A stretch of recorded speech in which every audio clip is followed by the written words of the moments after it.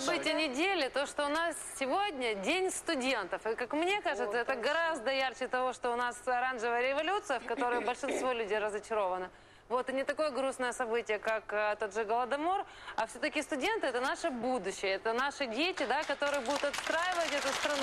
Это прекрасный праздник, стоит поздравить Большинство из них сегодня, я думаю, вот с легкой душой уйдет с пар. Они, в принципе, и так это делают, но у них, по крайней мере, сегодня есть І повод. И, повернуся как тільки мне завтра кажется, вранці. может быть, завтра вранці они повернутся. И поэтому, как мне кажется, Ну, это насправді, очень хорошее, Сарик, якщо, светлое якщо событие. е, е, вирізняти якісь події, то я думаю, що спекріада вона буде найбільш обговорюємою подією, але я думаю.